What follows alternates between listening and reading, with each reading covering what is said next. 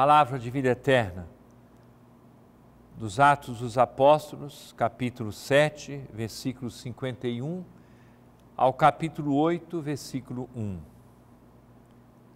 Naqueles dias, Estevão disse ao povo, aos anciãos e aos doutores da lei: Homens de cabeça dura, insensíveis e incircuncisos de coração e ouvido, vós sempre resististes ao Espírito Santo, e como vossos pais agiram, assim fazeis vós. A qual dos profetas vossos pais não perseguiram? Eles mataram aqueles que anunciavam a vinda do justo, do qual agora vós os tornastes traidores e assassinos. Vós recebestes a lei por meio de anjos, e não a observastes. Ao ouvir essas palavras, eles ficaram enfurecidos e rangeram os dentes contra Estevão. Estevão, cheio do Espírito Santo, olhou para o céu e viu a glória de Deus e Jesus de pé à direita de Deus. E disse: Estou vendo o céu aberto e o filho do homem de pé à direita de Deus. Mas eles, dando grandes gritos e tapando os ouvidos, avançaram todos juntos contra Estevão, arrastaram-no para fora da cidade e começaram a apedrejá-lo. As testemunhas deixaram suas vestes aos pés de um jovem chamado Saulo. Enquanto o apedrejavam, Estevão clamou, dizendo: Senhor, acolhe o meu espírito. Dobrando os joelhos, gritou com voz forte: Senhor, não os condenes por este pecado.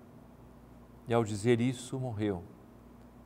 Saulo era um dos que aprovavam a execução de Estevão. Caríssimo irmão, caríssima irmã, personagens envolvidos na morte de Estevão.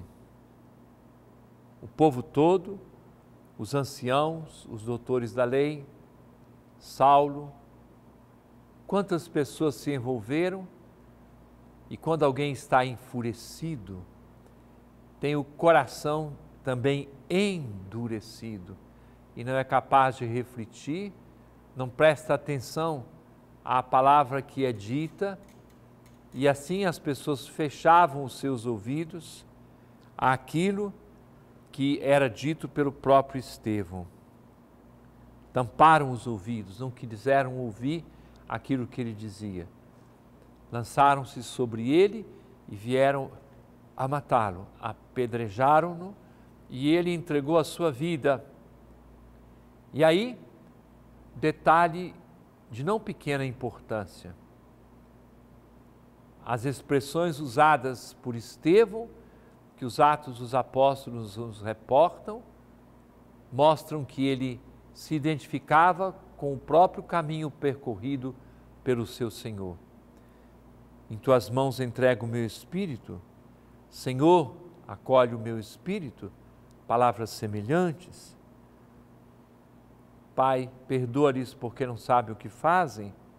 Senhor, não os condenes por este pecado.